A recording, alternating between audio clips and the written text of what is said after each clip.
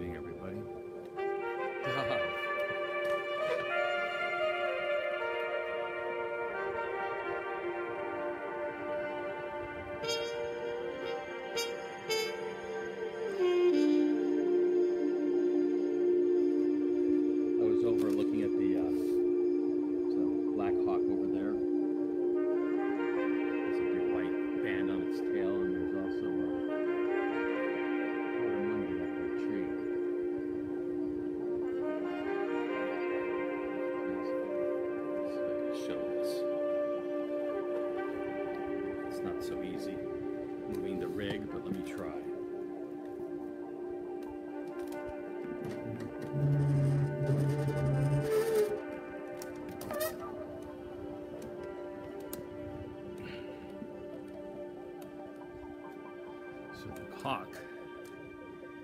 Here at this lower branch. See him?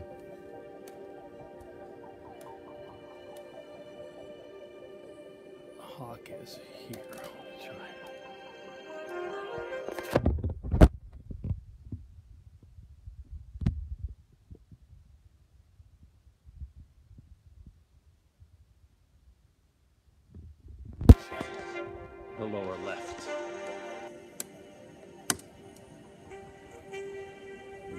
Of see the, uh, the coatimundi as well, kind of in the center at the bottom.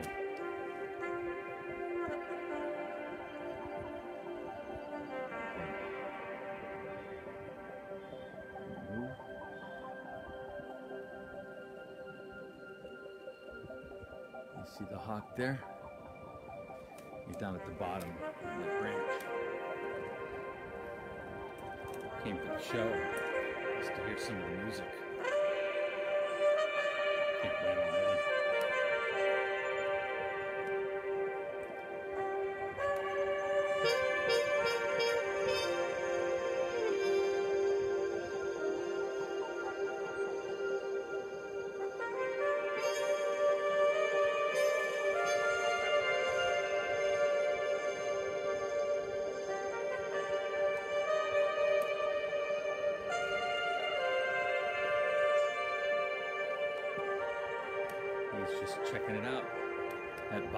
right there.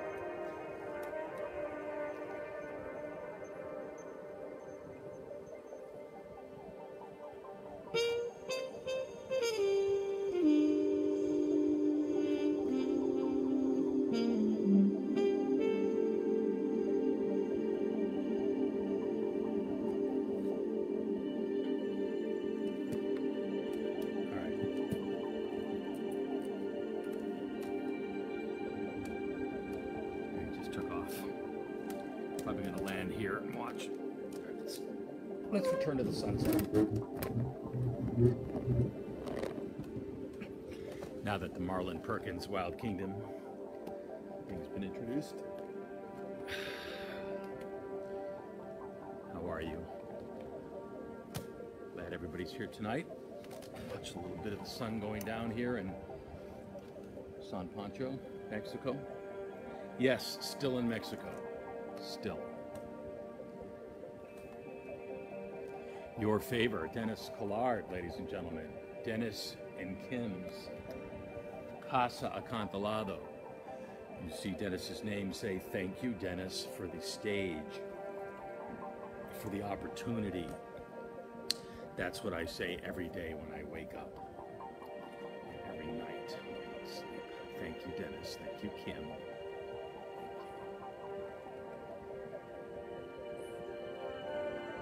Okay, Miss Linda.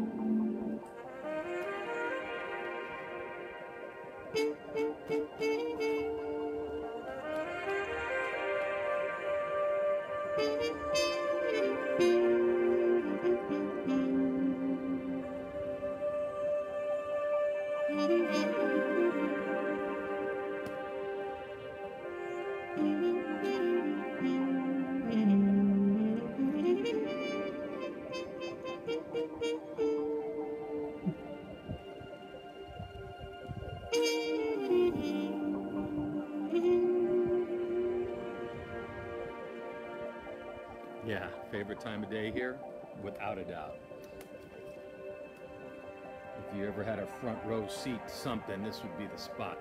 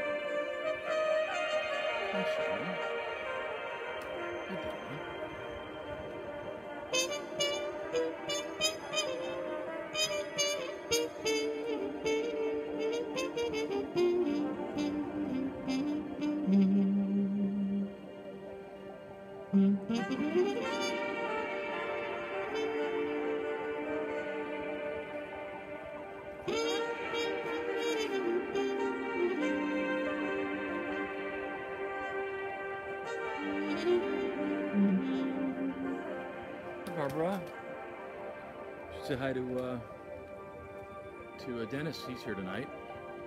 Dennis and Kim, both watching.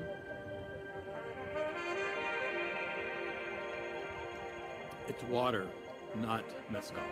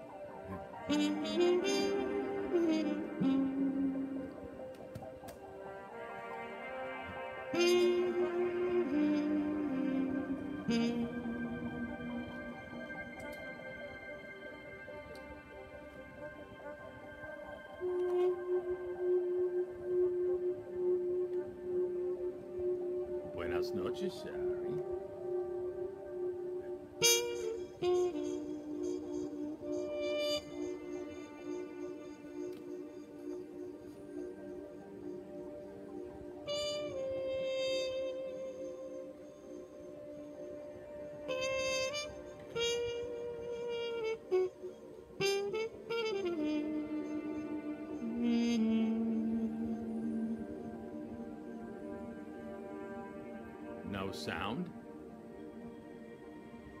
Really? You don't hear any sound?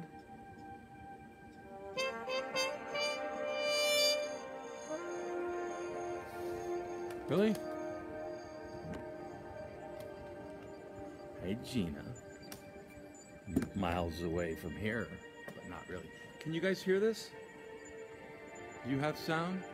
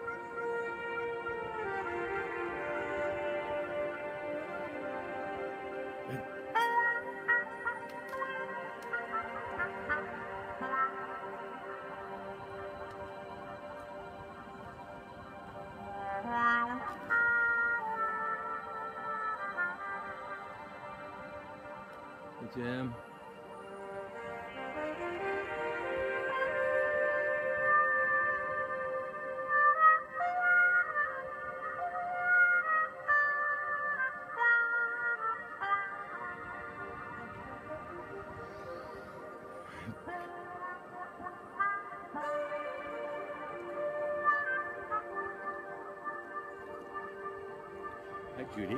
Say hi to Dennis. Say hi to Barb, Bill.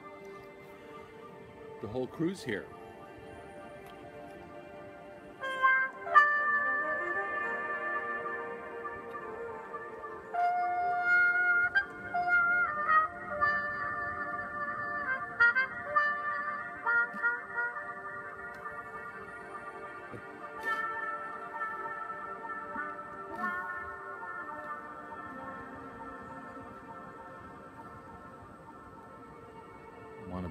It is.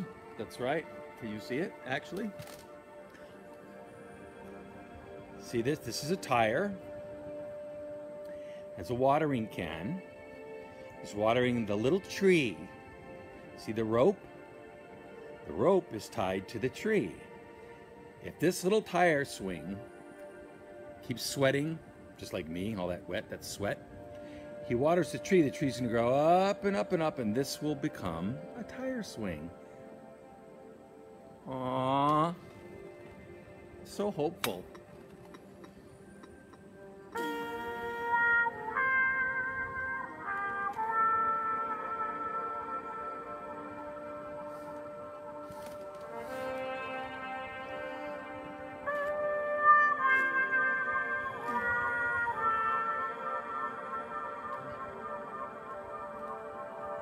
I miss you too.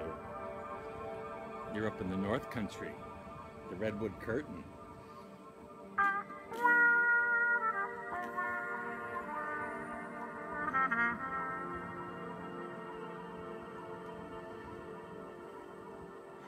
Valerie, this is San Pancho, Mexico, about an hour north of Puerto Vallarta, just up from Sayulita. You're watching the sunset into the Pacific.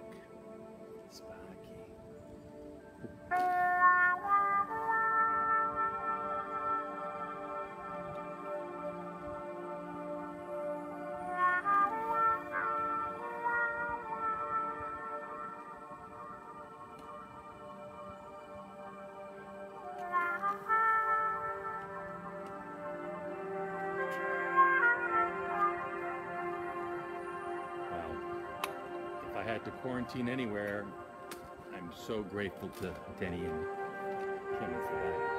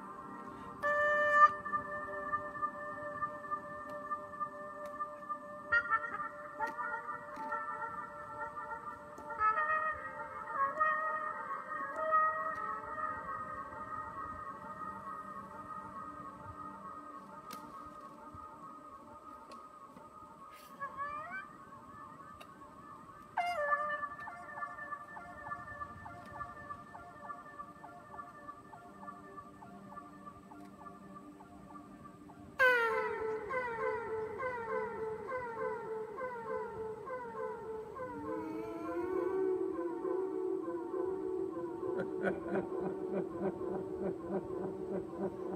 a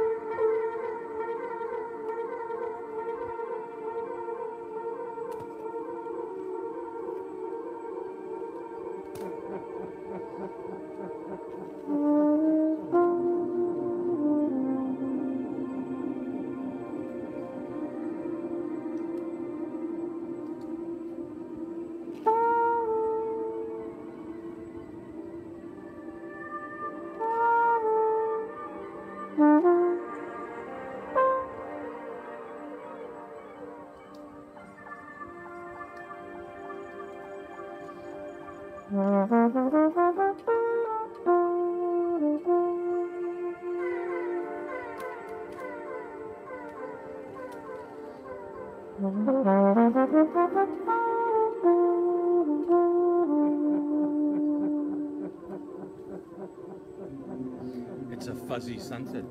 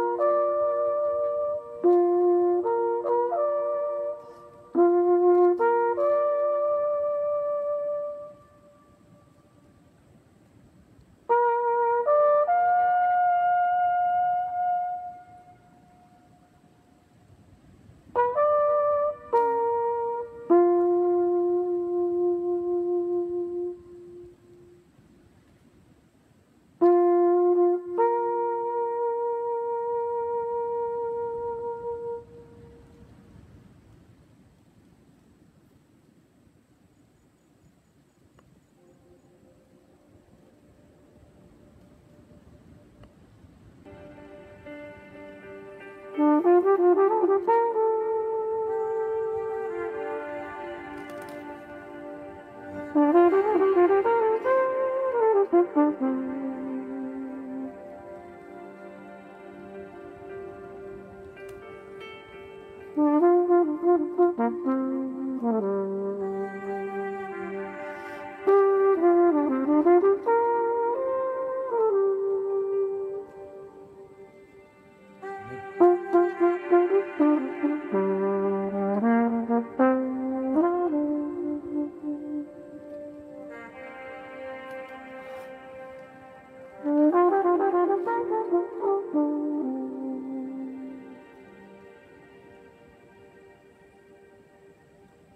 Mm-hmm.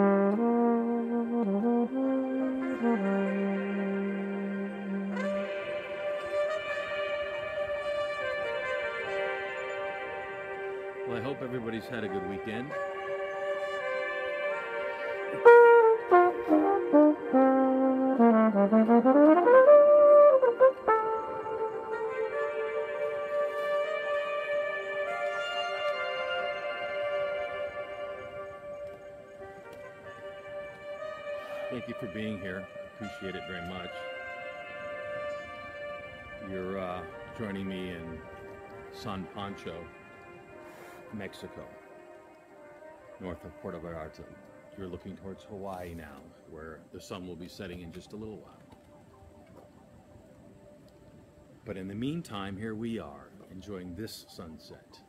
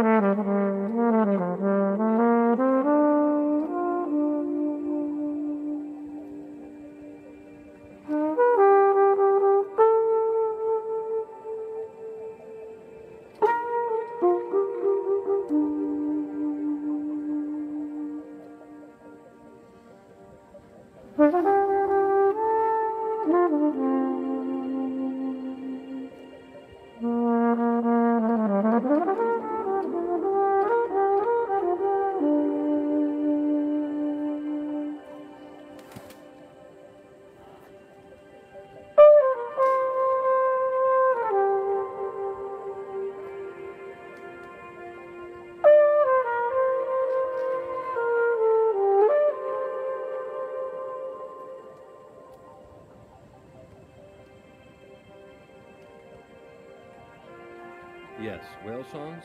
Yes.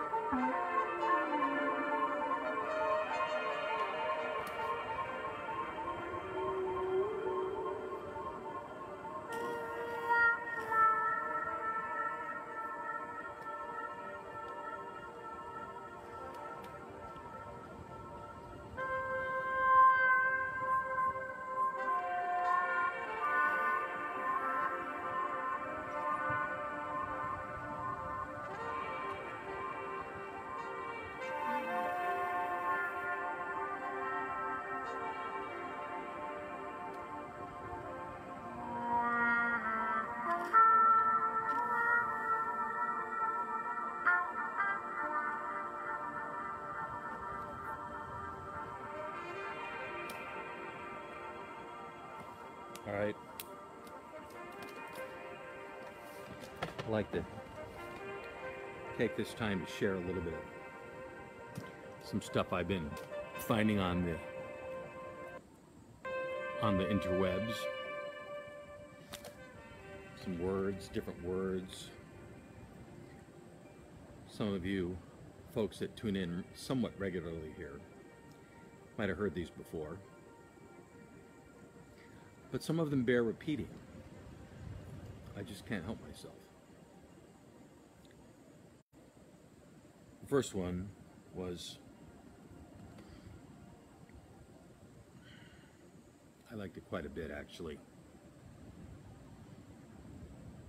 It was um, sort of a status report I, I put up the other night it was um, was happy to share that I had I had finished three books. Like I had finished three books today. All this extra time. Now I need some more crayons. it's kind of funny. All right. Right up there with what did the duck say to the waiter? He used to say, put it on my bill, but from six feet away, that's a little impossible now.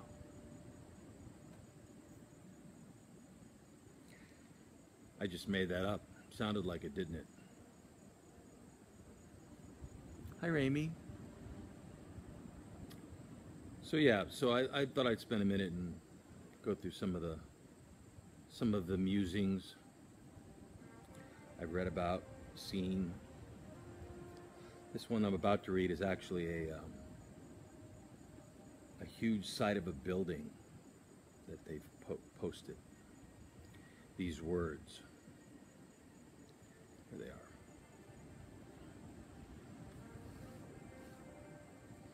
So when you go out and see the empty streets, the empty stadiums, the empty train platforms, don't say to yourself, it looks like the end of the world.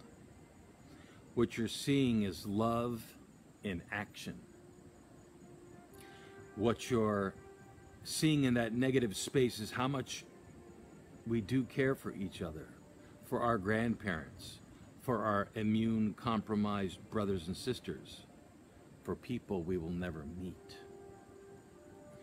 People will lose jobs over this. Some will lose their businesses, and some will lose their lives.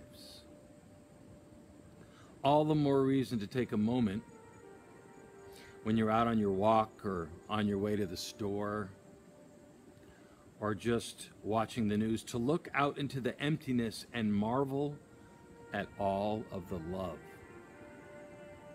let it fill and sustain you. It isn't the end of the world. It is the most remarkable act of global solidarity we may ever witness. Right? Right. That's uh, some good writing right there.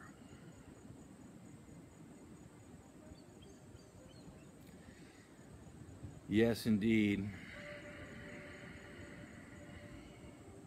Let's find another one. I could get political, but I'm not going to tonight. Doesn't feel like it. But I will say here this. We fell asleep in one world and woke up in another. Suddenly, Disney is out of magic, and Paris is no longer romantic, New York doesn't stand up anymore, and the Chinese wall is no longer a fortress, and Mecca is empty. Hugs and kisses suddenly become weapons, and not visiting parents and friends becomes an act of love. Suddenly you realize that power, beauty, and money are worthless and can't get you the oxygen you're fighting for. The world continues its life and it is beautiful. It only puts humans in cages. I think it's sending us a message. You are not necessary. The air, earth, water, and sky without you are fine. When you come back, remember that you are my guests, not my masters. That also is very beautiful. I have a rather long one that I'm going to read now, but I haven't in a while. And it's it's quite wonderful, methinks, if I can find it. Let's see if I can find it.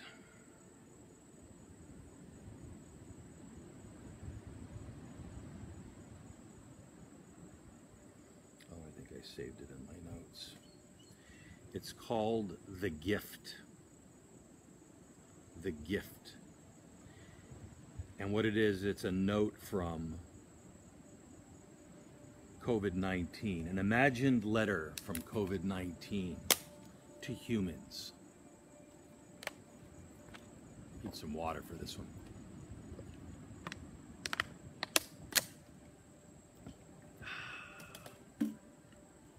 Stop.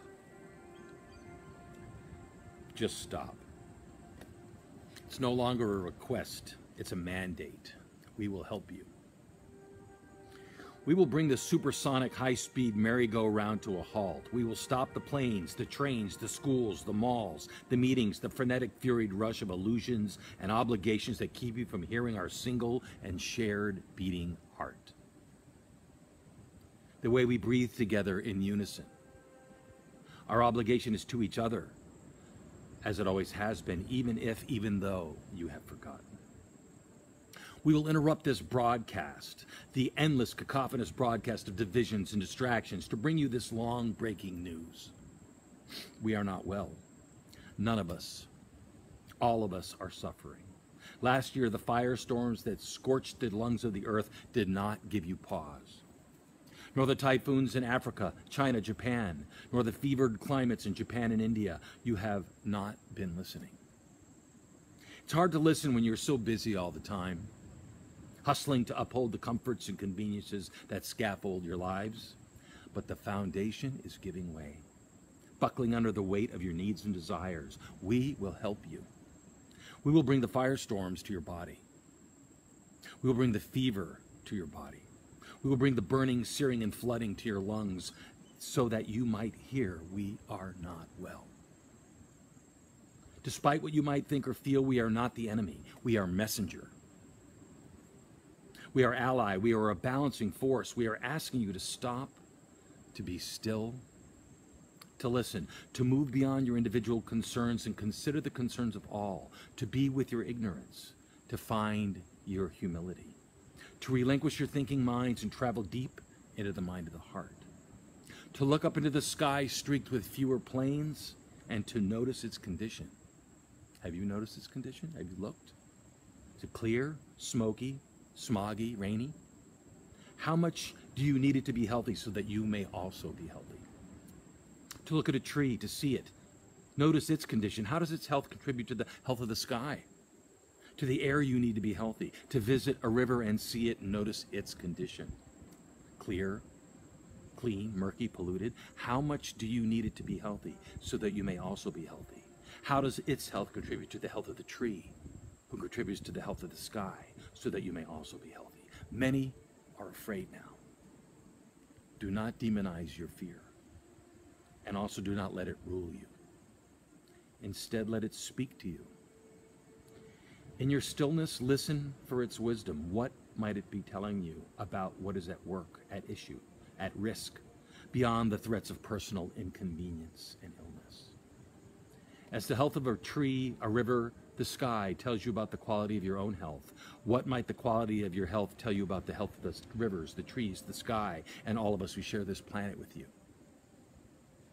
Stop. Notice if you are resisting. Ask why. Stop. Just stop. Be still. Listen. Ask us what we might teach you about illness and healing, about what might be required so that all may be well. We will help you if you listen. Well, I think it certainly got our attention. That's for sure.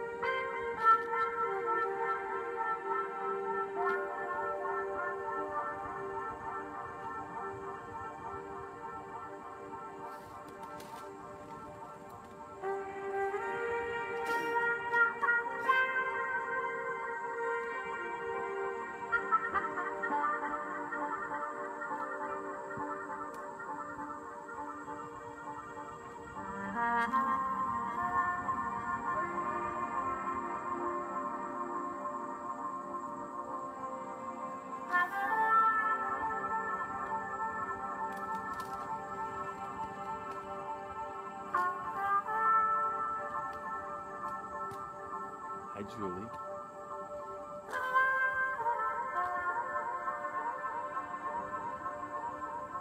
I think you're on time. You're not late.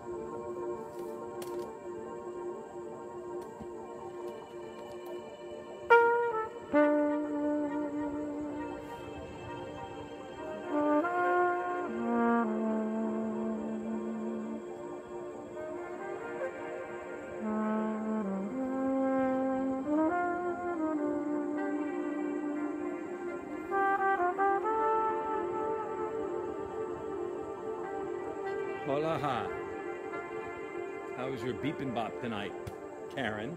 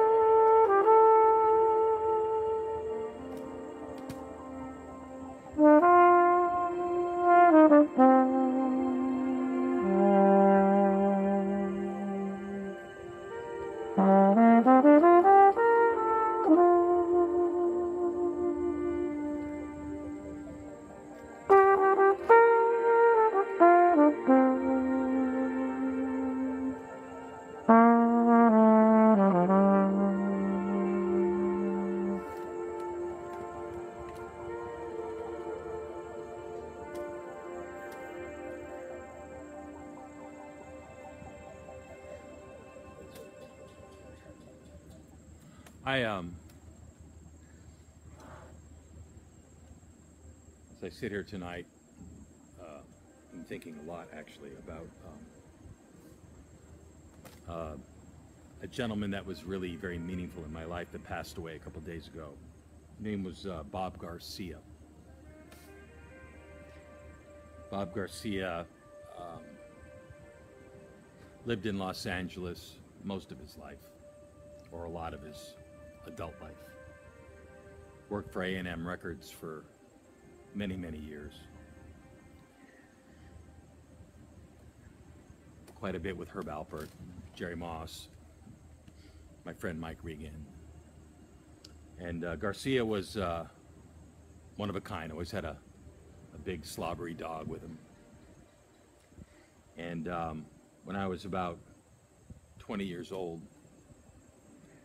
um, living up in Eugene, Oregon, I had a friend of mine who booked the music for uh, the University of Oregon, where I was attending um, for a while. And uh, that year, uh, the police who were with A&M Records uh, came through, and um, I got to meet uh, Garcia, Bob Garcia there. He would go out with the various bands that A&M Records uh, had as artist relations, the label representative. Amazing guy. So, went back to LA and I started sending him uh, cassette tapes from uh, from from uh, Eugene, Oregon, and he would listen and humor me. And eventually, he said, "Oster, because if you're going to really be serious about this, you have to actually come to Los Angeles. You uh, you're not going to be able to do that from Eugene, Oregon, sending cassette tapes." So I took it upon myself to drive down um, in 1978. Garcia took me around to a couple of clubs, a couple of shows. Had this huge room in his house full of vinyl records, listen to some records. Got a huge collection. And while I was there, I went to the Musicians Union and um, I went and I said, you know, are there any trumpet playing gigs anywhere? Um, and they said, yeah, Ray Charles is looking for a, a lead trumpet player. So here I was, you know, 20 years old and really not much of a lead trumpet player, but I said, sure, I'll go. So the next day, there I was, 10 in the morning at Ray Charles's recording studio and rehearsal studio there in uh, central LA. I sat there with the band and played from 10 o'clock until noon. Fumbled my way through the book, you know, the lead trumpet book. And uh, band takes a break for lunch. And I stay there. You know, during the rehearsal, uh, Ray is, was not really known for uh, a lot of patience if you didn't like something. So we were there, and he was he was pissed off at something the drummer was doing. So he says, so, so he has them take him over to the drums. And he sits down and plays the part perfectly.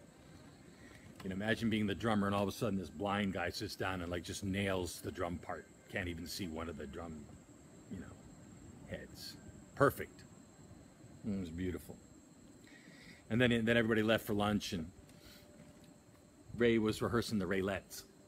And so I stayed there, sat on one side of the piano across from me were the four Raelettes on the other side of the piano, and there's Ray. You know, he stops in the middle of a song and says to one of them, Darling, you know you're standing in the wrong place. All four of them look at each other and switch places. Then later that afternoon, they told me I didn't have the gig, and I drove back to Oregon. But I figured, well, if all you have to do is go to the musicians union and and uh, ask about a gig and you could audition for Ray Charles, I'll, uh, I'll just move there. So I moved down there and uh, never had an experience like that again. Actually, it was it was quite interesting. I'm frozen, really. Is anybody else seeing a frozen screen right now in the middle of this fun little story about Bob Garcia? I, should I reboot it, leave and come back? Or is it only frozen in Australia?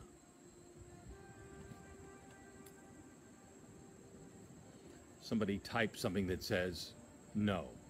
No. Okay, good. No, you can see and everything's fine. What does no mean? You're good. All right. So I moved down to LA and um, sort of lost touch with Garcia until I moved down there in 1979 and I and, and I um, in 2005 I released my first album. I had met Will Ackerman and Ackerman, um, during the Windham Hill years, had worked with um, had worked with uh, A&M Records. They distributed a lot of Windham Hill's music, and I came back in touch with uh, Bob Garcia again. And at that time, Garcia had been very involved with the Grammy Awards, and he would share music with uh, various folks in the Grammy world, try to create awareness for different artists, including me. And, you know, I would make these new age albums, and, and he would always ask me, uh, sort of push me farther, you know, like, are, are you are you still making are you still making music for soccer moms or something like that was what he would say. When are you going to play the horn really? When are you really going to play? You know and he would ask all these really tough questions. He was uh, he was amazing, and lived a long life. He, I think he was 80, 81 or something. Passed away a couple uh, couple of days ago. So I wanted just to uh, tell Bob Garcia that uh, here in the sunset down in Mexico, I'm thinking of him. And I know there's a lot of people, especially in Los Angeles and around the world, that knew Garcia. And uh, you know how there's people in your life that you meet, and you just know they're one of a kind. He was one of a kind. He was that guy. One of those guys that every email was in all caps. Every single bit of it. Whether he was screaming or not. So yeah, here's de Garcia. Actually, I know a song that he would have known because Chuck Mangione was with uh, A&M for a while. It's a little mini version.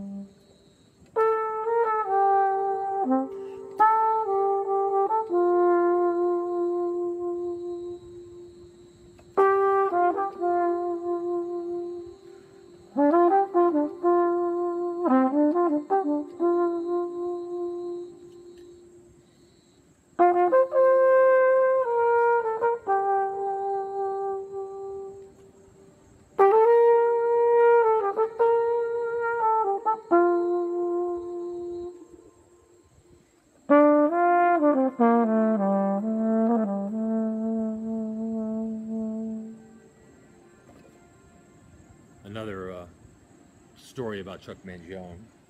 That song, Feels So Good, came out in the late 70s.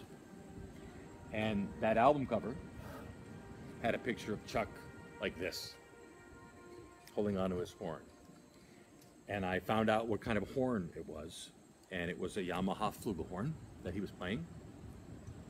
And that's what this is. This is a Yamaha flugelhorn. And I got this flugelhorn uh, sight unseen, sent to Eugene, Oregon in 1977. I bought it. Um, And it's the same flugelhorn I play. I've played ever since, since 1977, this horn. It's a Yamaha, just like Chuck Mangione played. I have actually a funny story of how actually I, I got the money to pay for this. How many of you guys remember years and years ago the one of those uh, those chain letters where you would you'd go to the party, they'd invite you to it, and they'd say, "Okay, here's the letter. Send fifty dollars to the to the person at the top of the list, and put your name at the bottom of it, and go tell two friends." And everybody sends fifty dollars to the person at the top of the list, and everybody gets added to the bottom. So I did that. And this was up in Eugene, Oregon in 1977. Uh, at the time, I was um, incredibly not wealthy. I'm not wealthy now, but I, I was incredibly not wealthy then. Food stamps, you know, collecting beer bottles to get the money. So I sent the $50, and all of a sudden, a couple weeks later, I get an envelope at, at the house, and there's there's there's fifty dollars in it.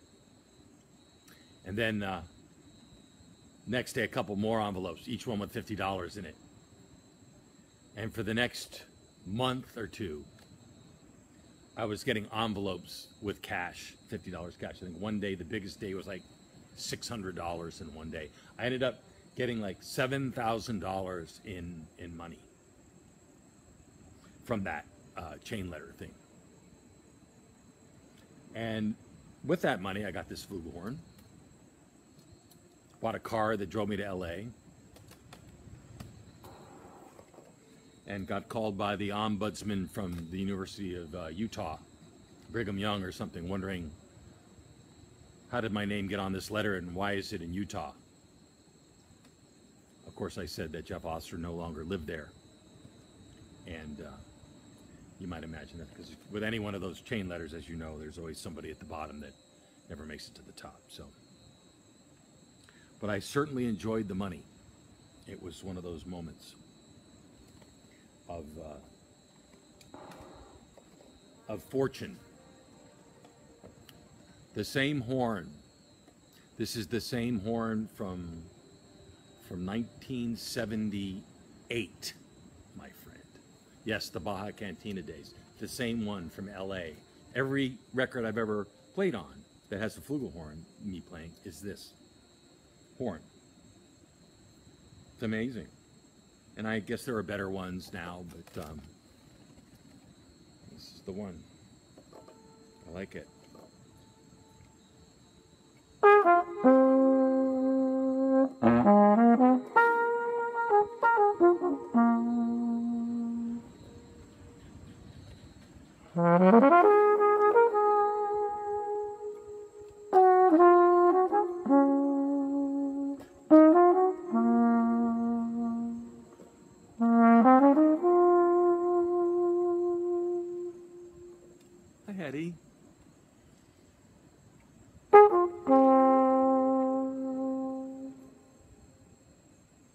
Mm-hmm.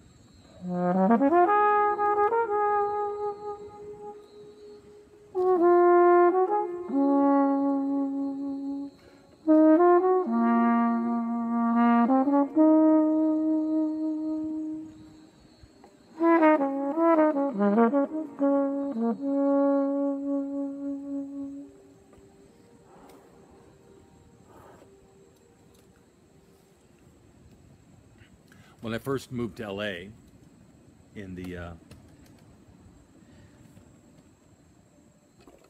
I guess it would be 1979, late 70s.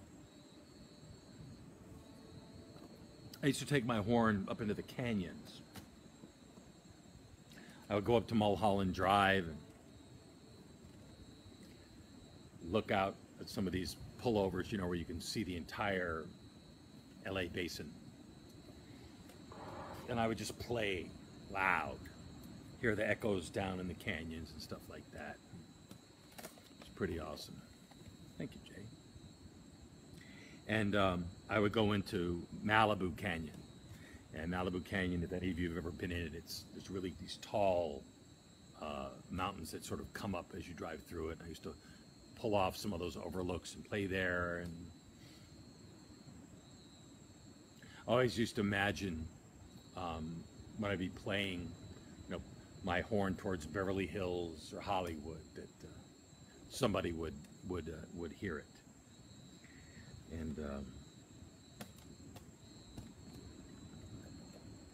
I figure somebody did, you know, early in the morning. And I was a limo driver for a lot of years. Used to be bring my horn with me. While people go inside, I'd sit in the back and play. One time I was driving Dudley Moore, and I always was. Um, I'd always, when I'd see the the people coming back to the car, I wanted them to know that I was a, a horn player, so I would stay in the back of the car, still playing. One time Dudley came up and was conducting me through the outside of the car through the window. Got out and got in the front. I'd have my songs all queued up in the cassette player. When did I play in LA? I was in LA from 1979 to 1997. And I played at Rubens and Baxter's and Black Angus and weddings and bar mitzvahs and Sutter's Mill in Mission Hills and in Valencia and used to play at um, in a band called Mr. Goodrock and we would play in at uh, the, the uh, Six Flags Magic Mountain, Lady Jane's out in Montrose and the Holiday Inn in Palmdale. I used to stay at the holiday. We'd go out to the Holiday Inn and we'd go there for a month. And this was when in Palmdale, the Holiday Inn was the only thing that you would see when you drove into the valley, the Antelope Valley up there. And we'd stay there a month. And I was so poor, I'd bring a camp stove, and uh, and I would cook in my room because you couldn't afford to eat in the in the in the kitchen. They give you no break. And this kind of the first band I was with that we that we would do this with was called Off the Wall so we would do skits to all these top 40 songs back then, just to keep ourselves uh, happy. And at that that particular place, one night, um, well, every night we would do the first set would be sort of jazz, you know, like a dinner set, and then we'd do dance music. And um, one night we said, well, let's. one night we we had them put a table on stage, and they, they had we had them serve us uh, uh, Cherries Jubilee. Everybody in the band, five of us and we played a cassette tape of the band playing the dinner set from the night before and we had a microphone and we actually had dessert on the stage while the dinner set was playing and we passed the mic around and said how we thought how good the dessert tasted and did we like the music that was playing that was fun and we used to do the uh, song white wedding and and we would buy all these these uh, uh, uh costumes from um, thrift stores so with White Wedding, the trombone player, a guy named Mark Jones, used to dress up in a white tuxedo and a top hat, and I found a, an oversized wedding dress with a veil um, in um, a, a, thrift store. And we would start the set with the wedding march, um, where, where Mark and, and myself would walk across the dance floor to get up on stage, him in the white tux, me in the wedding dress. And I have a veil over my face black plastic long fingernails, and under the veil was a um, a, uh, rubber skull, uh, a Halloween mask um, with a, a, fish bones hanging out of its mouth. So halfway through the song, you know, he's singing "Hey Little Sister, What Have You Done?" and halfway through the song, I lift up the veil, and he sees the the mask, and he freaks out. And, you know, it was a little bit of theater that kept us uh, kept us happy. And so one one night, um, up at the Holiday Inn in Palmdale um, for a month, in the middle of nowhere, in the high desert, um, you can imagine things got a little uh, uh, tweaky. So one night in my room with my camp stove, I cooked spaghetti. And um, on the break before we came down for the set where we would do White Wedding, I didn't tell anybody in the band this, but under the mask, the rubber mask, I had put on some white uh, face paint with red lips, you know, grease paint, and those those plastic fangs had those in my mouth. And I took a big handful of raw spaghetti and I put it in my mouth, and I held it. And I didn't tell anybody about it. So, so we come start doing the song, and halfway through the song, I lift up the veil and freaks out, and you know, and I don't tell anybody in the band this, and they're playing. And then a little bit longer, I reach down and I grab the mask, and I start pulling the mask up, and my face is all white and all this, and then I just start going, and the, the spaghetti starts like worms starts starts falling out of my mouth onto the stage down my chest and I'll never forget the, the bartender, there was a woman, she, she was watching, I mean, she went like this, turned away, she, she watched, and the band would just crack up. I just, I would do stuff like that. They would never, they would never know, and it was the best of it, because we would just, you know, play the same songs from 9 at night till, until 1.30 in the morning, from Wednesday until, uh, yeah. And then, and then another one of those stories, one of the ones we used to do, another song was we used to do um, Eat It, you know, the, the parody of Beat It by Weird Al Yankovic. And, you know, that one is why you have to be such a fussy young man, don't want your Captain Crunch, don't want your Raisin Bran. So we would start a set with that song, and Mark Jones would dress up as a grandmother with a gray wig and a, you know, grandmother dress. and I, I had a, a baby bib, a Holiday Inn towel that I used as a diaper, um, and literally had it looking like a diaper, uh, no pants on, just the towel with a belt around it. Um, big puffy um, um, um, slippers that look like pandas, you know, those kind that look like animals. I had those, and a beanie copter hat with the little beanie spin around on it. And we would start before we would start the song, and the dance floor was empty before we would start. I would run out onto the dance floor with one of those little Fisher Price four-wheeled xylophones that you pull and it makes the thing makes that sound. so I'd run around the dance floor and Mark Jones would chase me dressed as a grandmother with a with a uh, a, um, a, ro a, rolling pin. And we'd, I'd run around the floor and he'd chase me and then we'd run up on stage and then we would start the, you know, da da da da da da da, da and whatever the, uh, how it starts. Why do you have to be such a fussy young man? And I had a box of Raisin Bran and a box of Captain Crunch. We would act out the song. So we would do that. You know, it was kind of funny. And after a while, you know, we would try to get bookings, and, and people would say, well, we book top 40 bands. We don't book circuses. They would say that. So anyway, so one night, same kind of a thing. I didn't tell the band any of this. So I'm running around in my, my diaper and my beanie copter hat, and I had gone to the store the day before and I bought one of those little capsules with fake blood in it the kind that you put in your mouth and you let it melt and um, it turns all red, you know. so we're so we're sitting there, uh, uh, you know, he's singing the song, and I'm there with my tray with my Captain Crunch and my Raisin Bran, and I just start going, and blood starts pour, blood starts falling out of my mouth, and then I like open my mouth a little more, more blood starts falling down my chin, dripping onto my, my bib. my whole goal was to try to get the band to fall over and, and, and, and um, uh, not be able to do the gig. And uh, that was always fun too. The juxtaposition of the beanie copter hat and the blood pouring out of my mouth I thought was quite uh, clever. So that was back in my top 40 days. Actually, if you go to my YouTube channel, um, I have a you know YouTube channel, Jeff Oster. Um, there's a couple of videos, not of all of that, but there's a couple of videos of my top 40 days. Um, the first one is a demo that we had shot up at uh, Magic Mountain, Six Flag Magic Mountain in Valencia. And it starts with me uh, doing some rap music. That's right, I was rapping. And I had hair down to here. That's when I had hair.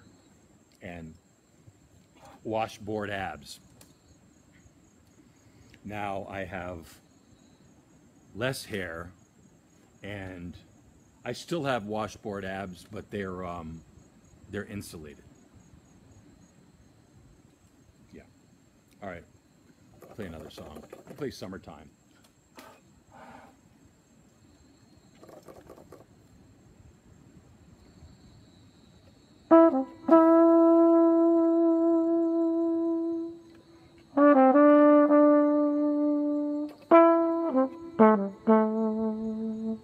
On a second. Leaf cutter hand.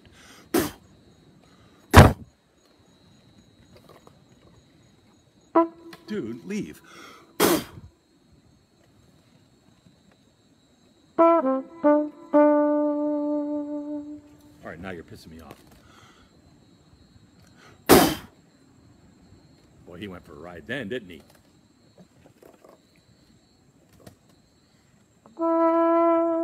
Start over again, but I digress. Let me do it on the on the trumpet actually.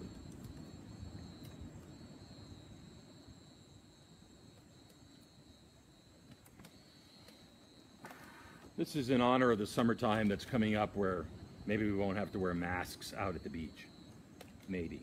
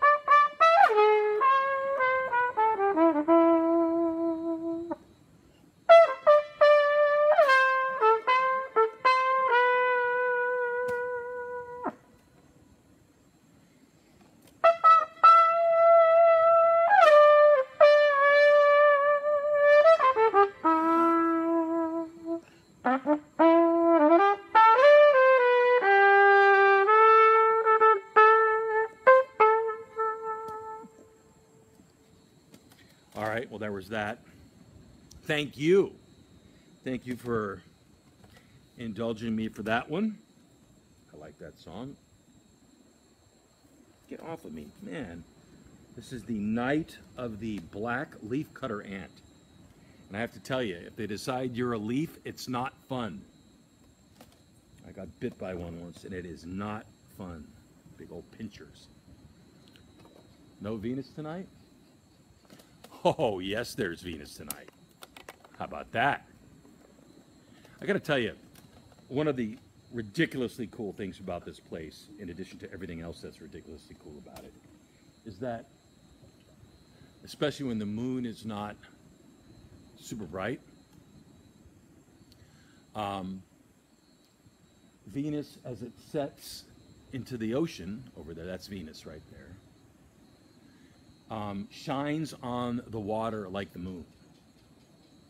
And if the moon is not bright, it is one of the most amazing, amazing things to see the, you know, like you see the sun reflecting off the water towards you, to see,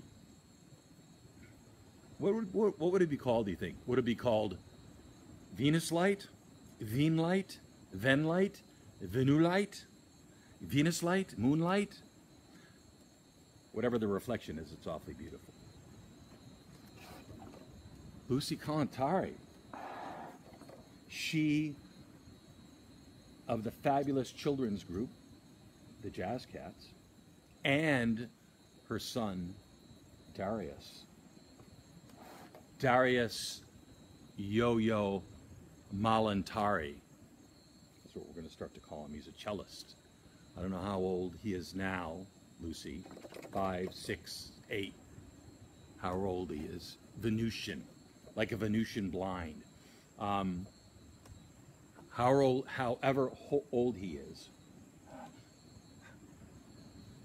he um, he plays the cello amazingly.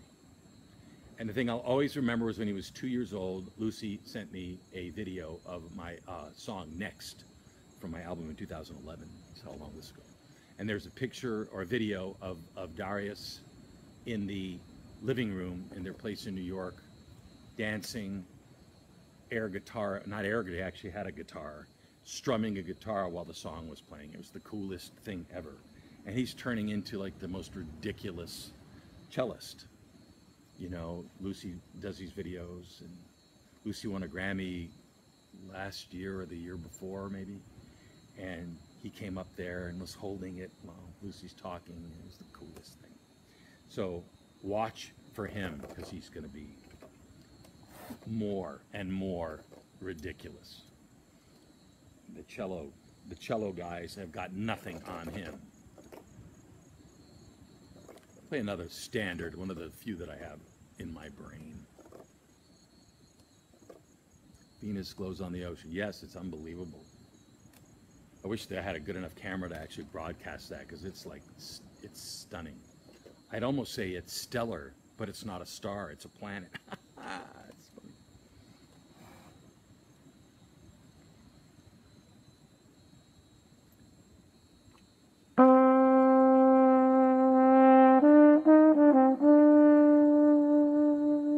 All right, name that song. Name the song. Come on. Six notes that was. I'll play them for you again. Come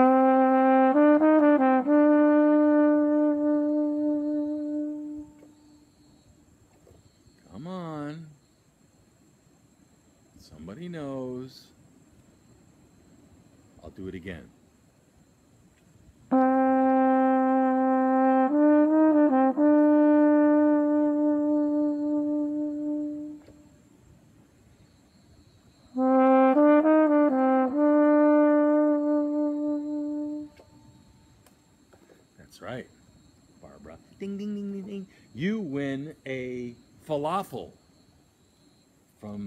Stand across the street from your house. What's her name? Angelica?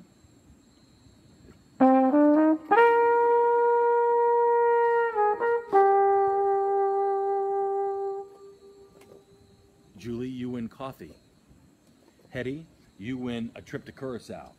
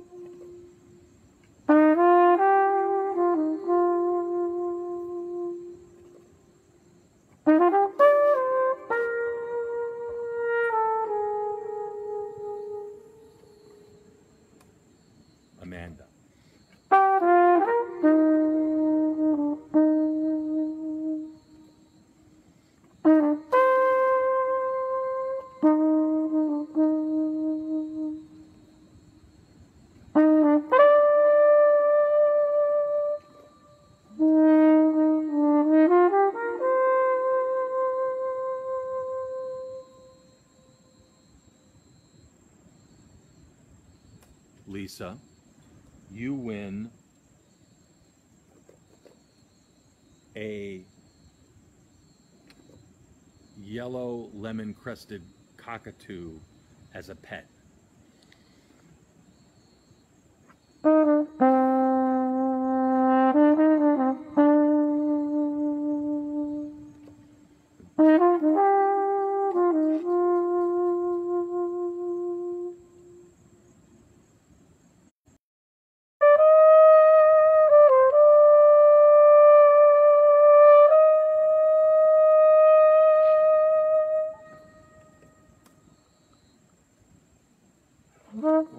By so fast I didn't see it.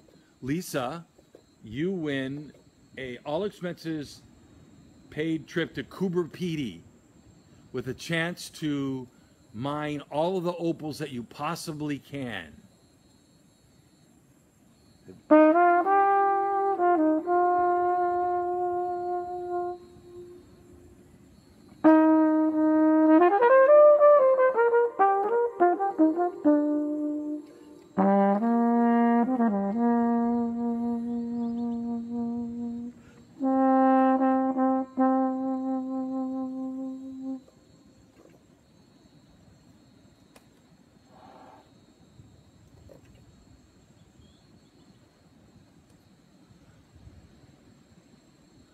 Another, um, the moon straight above my head. You already have a friend with an opal mine? Oh, well then. Maybe then you need to go up and collect, without touching one, a box jellyfish. Or maybe you should work so hard like it would. All right, now you got me going everybody, Lisa uh, Noble's from uh, Australia, lives in Australia. Um, and I am now going to share with you all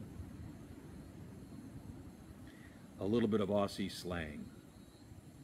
And I'm sure she's going to know every one of these. No cheating.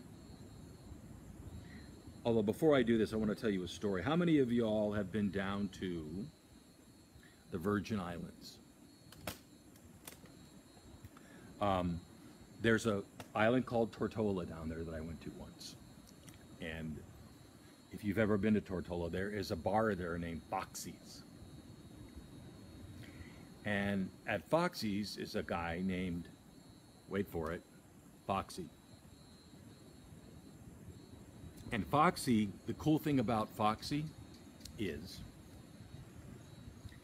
no matter where you're from in the world, if he asks you, where are you from? And you tell him, he starts singing a song and starts including references that only somebody that actually had been to that place would know.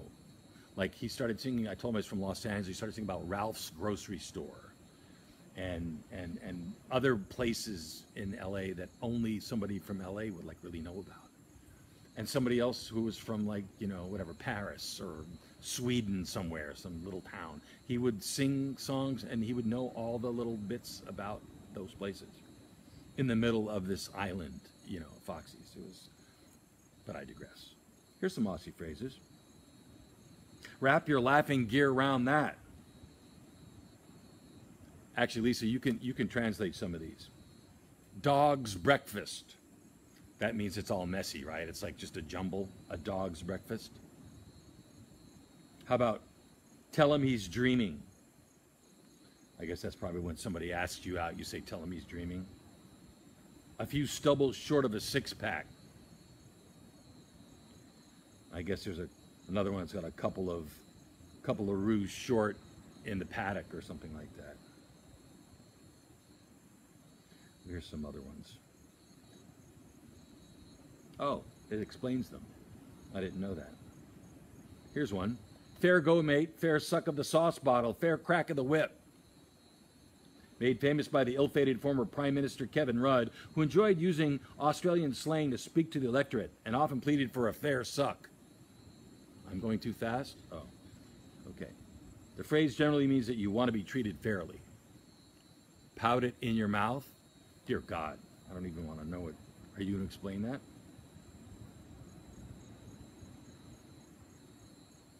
Fair suck was coined by struggling Australian families who shared droppings of tomato sauce to flavor their meat. Laughing gear is the mouth. Oh. Oh, that's funny. Speaking of laughing gear is your mouth, I once, when I was in high school, my high school band went to um, went on a trip to Europe. This is one of the reasons I still play today is because of this band director, Uncle Willie Ledoux, where he took 200 of us from the Coral Gables High School marching and concert band to Europe. Five countries, 16 days, concert under the Eiffel Tower, um, Warwick Castle in London, uh, marching through the streets of Ralta, Holland, trip down the Danube, all this crazy stuff. Mucho ayuda el no esturba, all talk and no action. That's pretty good. So I'm in London. We were in England, Coventry. We were on some tour, and I back then I was smoking blueberry Tipalet cigars. And we were walking through the some museum, and I'm smoking one of these blueberry Tipalet cigars. And the guard comes up to me, goes, tells me to put it out. I said, "Well, I don't know where to put it out." He goes, "Put it in your munch box." And I thought he said lunchbox, but he actually said munchbox, which I guess is a bit like um, whatever that mouth thing was that you said earlier, uh, Lisa. So that was a little embarrassing. Although I have another story about that actually, which is pretty good. My father was a pretty well-read dude, and we would talk about stuff and a lot about history. He was quite into history. And um, in that same trip with the high school band, you know, we had three or four buses, and they did this tour through um, a tour through London, and we had a tour guide who would ask us all these questions about these historic places, and nobody would know the answer. And he was he was kind of a dick, you know. He was kind of like, "You stupid Americans, you don't know anything. I'm going to ask you another one." And he he almost, you know, for all intents and purposes, almost said that. You know, like you're idiots. You don't know anything in America. So I'm on the bus with the band director and, you know, 30 or 40 other kids and some chaperones. Come around the corner and there's this big statue of this guy, one of the one of the kings or something like that. And they said, he said, um, he's sitting there on that on his throne, and he has his um, has his finger in the pages of a book. And uh, uh, in that book, that page he's turned to is to the person who invented the flush toilet. Does anybody know the name of the person who invented the flush toilet? So, of course, everybody on the bus is silent. But as it turned out, my father um, had actually told me this. We had had this discussion, I don't know, a couple weeks earlier. So, out of the back of the bus, here I am, I scream at the top of my lungs, Crapper! And everybody in the bus turns around and looks at me. The band director turns around, looks at me. I said, I'm serious, Crapper! They're all shaking their head, and the guy, like in this like quiet little voice, he goes, Sir Thomas Crapper. So the whole bus goes crazy. Uh, that's a good story. That was pretty good. I was right was finally one of the American kids actually had a, a bit of knowledge. Yeah, they would do that. I'd go to the go to the store or the restaurant. I'd say, I'd like to have a milkshake. So they would give you a, uh, milk with flavoring in it because you're supposed to ask for like a frappe or some bullshit like that, not not milk with. And so okay, well then good. I want a hamburger, so they give me a a a a a, a bun with a piece of ham on it. Oh, you meant a beef burger. Harsh. Yeah, there's all kinds of stuff like that. Here's another good story. It's a good one. Um, some of you know I'm a financial advisor.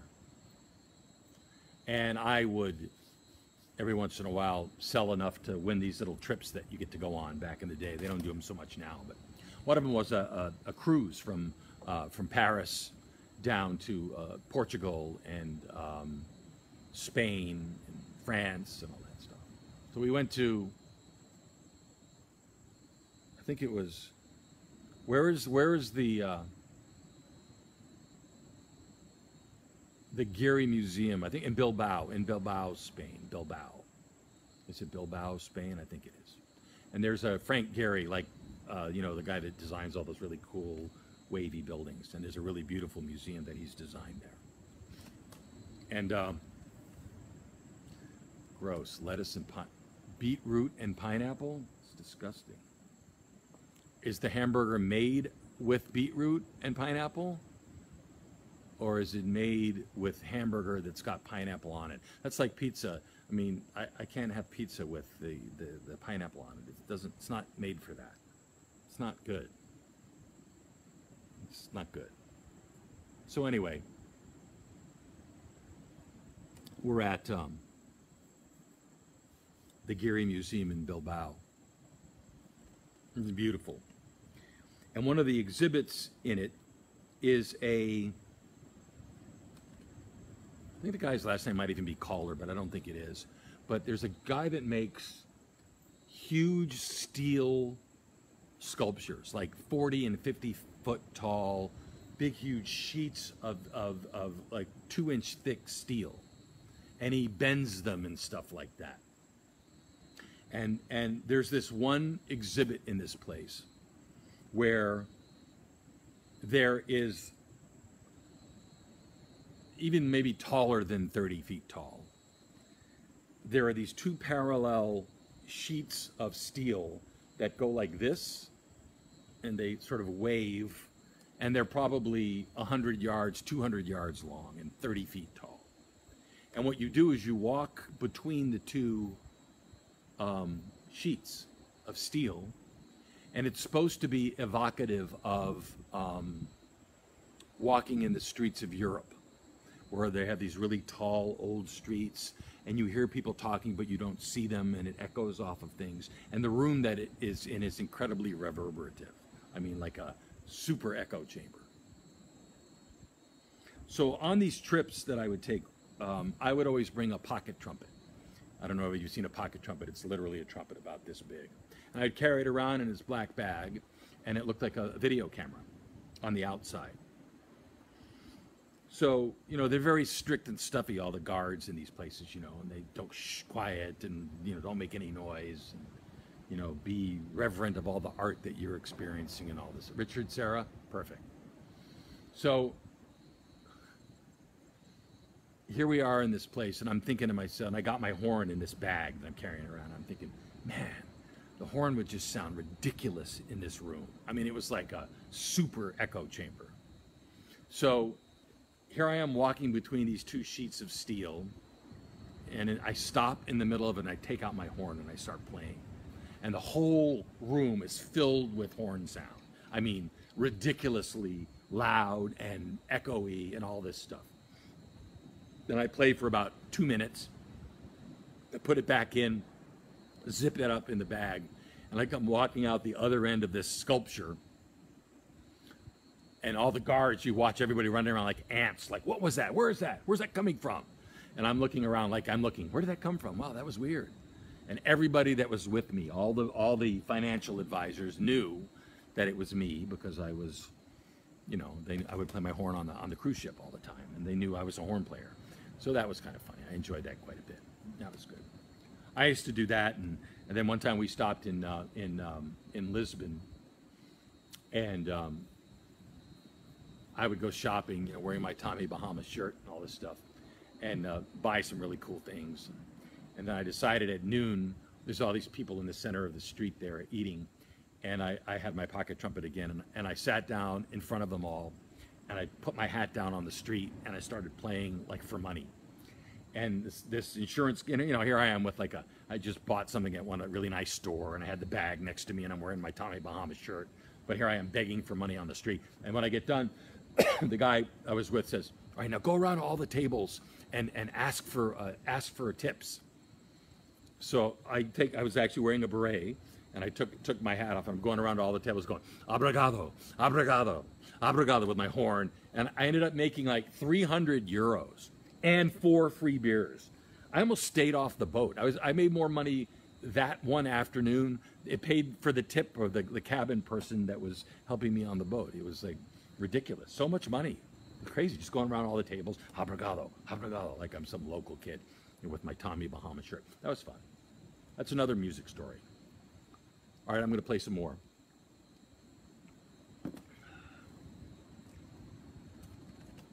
I think.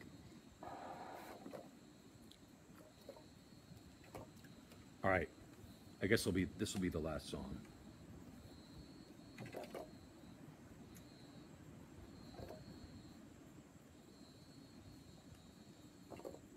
Oh wait. I had a couple more Aussie phrases. I think.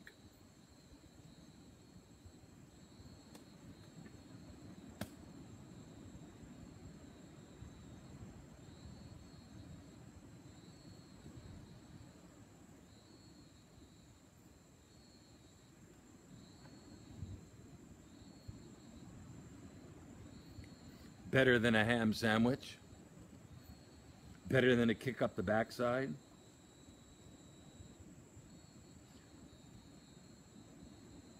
You'd prefer a fair whack. Does that sound uh, right about Lisa? How about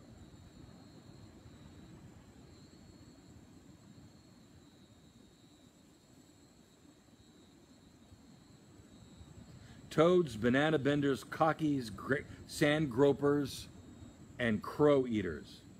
Those are favorite ways Aussies disparage those who live elsewhere. Tropical Queensland has many more bananas and cane toads than people, so they're branded banana benders or cane toads. Queenslanders get their own back, calling Sydney Sydneysiders cockroaches in honor of the omnipresent nuclear immune pest found around the harbor city that right? South Australians, particularly early settlers, partake in the delicacy of crow eating. I don't like that. I love crows. While Western Australians spend their lives groping sand. Yeah, put a sock in it. Tell somebody to shut up. That's us. Do the Harry. That's a good one. What is do the Harry? Oh, so when you have your mosey on or get the hell out of here, you do the bolt or the Harry bolt or simply you do the Harry.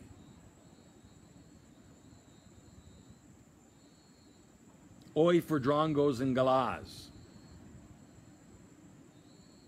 Be nice. You careful now. There's a lot of Mexicans here on this now. Oi for drongos and galahs. Chanted three times after Aussie, Aussie, Aussie. Oi, oi, oi in perhaps the world's cheesiest national cry. But in normal use, it's mouthed when you disagree with what someone is saying to uh, convey annoyance, when you're being a drongo or a galah. In fact, not native birds, but someone who has rocks in their head doesn't know what they're doing. Blokes and sheilas, I guess those are boys and girls. Oh, this is good. I like this one. When you don't have anything to do with someone, you tell him or her, get on your bike, which suggests that he or she leave. Quite the opposite to hold your horses, which requests someone's to stay. Or don't get your knickers in a knot. Or you tell someone to on your bike, even when they're trying to excuse themselves with well concocted verse, you tell them to tell your story walking. That's pretty good. Oh, these are good. Smako, Garbo, Bo, Baulo, Botlo, and Arvo. O is a suffix to any word it can shorten. When in doubt, throw an O on the end of the word and it's bound to be Australian. Take a break when you smoke is a smoko, smako. Someone who collects garbage is a garbo. A bowling in a community club is a bolo. A bottle shop is a botto. Botlo. And the word afternoon with three syllables just doesn't stand a chance. It's evolved or devolved into arvo. That's pretty good. All right, that's it. That's enough Aussie slang, Lisa. Here we go. Last song, I think. I think I'll do a loop thing. Some of you might know what that means. I don't know what's going to happen now. Oh, musician, not Mexican? That's hilarious. Now you're now you're um, you're forgiven.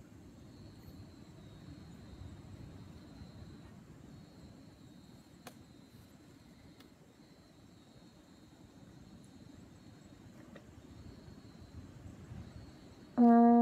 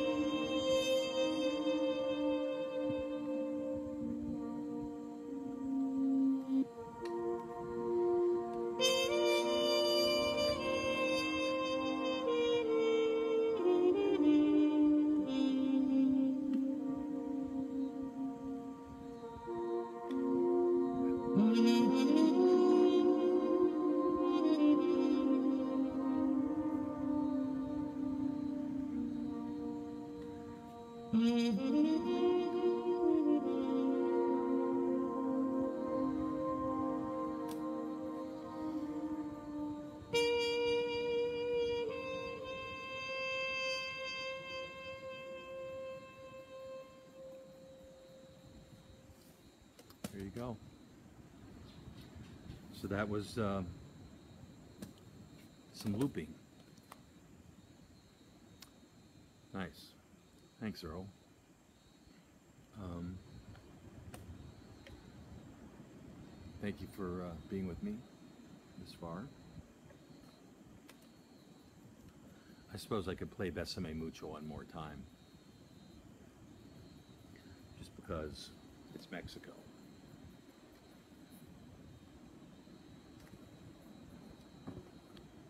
And then I'll say goodnight. Already played it earlier. If you've heard it earlier,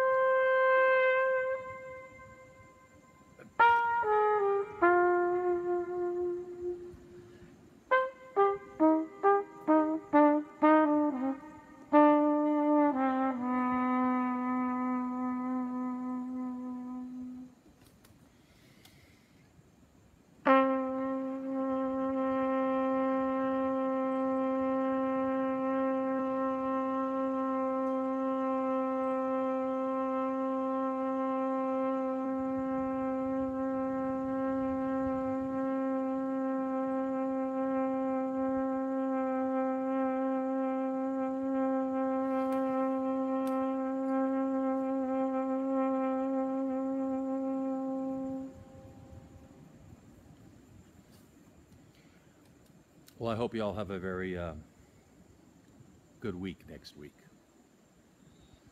I think there's some parts in the United States where you can actually start to go out again. And if you're going to actually do that, please be careful. And if you're in parts of the world like here where you can't even buy a beer, or go to the beach, or go to a restaurant because there's none open, um, enjoy the solitude of it all. And if you're with a partner or several partners, send me a video. Just kidding. If that was pretty good though. If you're with a partner or whatever, congratulations, and I hope you enjoy yourselves. Um, these moments with your friends, with your families. If you're alone, um, enjoy the solitude, feel it. I happen to be amazingly blessed to be here at Casa Acantilado. And I can see the moon, and I can see the Venus reflecting across the ocean. And I see Polaris, and I see you. And I'm very, very blessed that you choose to spend a little bit of time here. It's um, very fulfilling for me to be able to do this and share this. And I just want to tell all of you that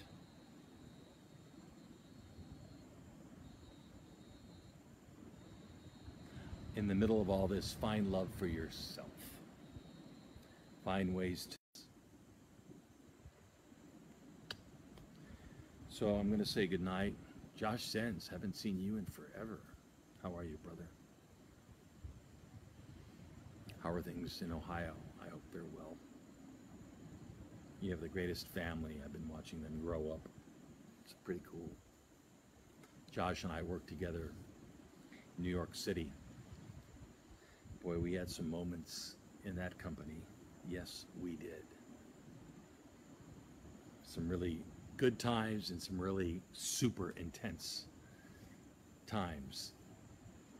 Kind of like now, but different. So, I, um, I'll keep doing these. I'm here until the end of May. Love you too, man. May 29th, unless things change and it's even longer. Um, but in the rest of May, and as long as I'm here to uh, sit in this ridiculously beautiful spot, I will continue to uh, play the sun into the water.